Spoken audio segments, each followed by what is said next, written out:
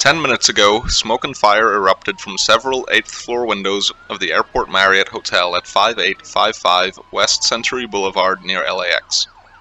The fire alarm was activated in the building and Fire Station 95, which is located less than two blocks away, was on scene within three minutes. Approaching the hotel, the firefighters encountered a chaotic scene with hotel staff and guests running from the building screaming and automatic gunfire inside the lobby. The firefighters fell back and radioed in an active shooter. Guests who escaped reported that many of them had congregated in the lobby after the fire alarm had gone off, at which point two or more men pulled out guns and started indiscriminately shooting and killing multiple people. 911 calls are pouring in, including panicked parents who report that they have not heard from their kids who were at the hotel for a regional spelling bee. The hotel manager reports that over 60 kids were participating in the event in the main ballroom, along with teachers and staff. The doors to the ballroom were barricaded from the inside, and a single child who escaped reported that men with guns had locked them inside. None of the hostages in the ballroom are answering their cell phones, and the wired telephone system for the hotel has been disabled. The gunmen have made no contact. An officer from the LA Unified School District who had been assigned to the spelling bee went upstairs when he smelled smoke and has activated his radio emergency call button. Dispatch has been unable to contact the USD officer to determine his status. The smoke continues to be visible from LAX on the 8th floor of the building. Initial patrol units from LAPD Pacific Division are on scene and they are establishing a perimeter to push back the growing crowd, including the media.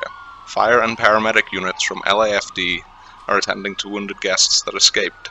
LAPD SWAT and additional city units from LAPD and LAFD, as well as LA Sheriff and numerous other agencies that have self-deployed, are arriving on scene.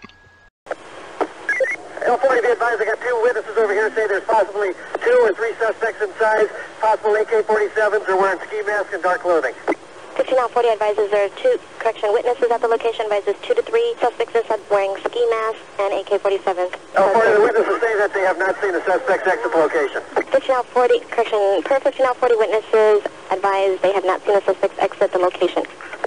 Can we get the air unit over here also? 15L10, let's get to attack frequency, and do we have a suspect description? Our units at the of TAC 5, switch to TAC 5 for 211 in progress. L40, more shots are being fired from the... 5940, more shots are being fired from the suspect. Uh, 15L10, we've got automatic gunfire coming from somewhere from this location. 5910 advises more shots are being fired, possible from an automatic weapon. 5985, 5940, roger.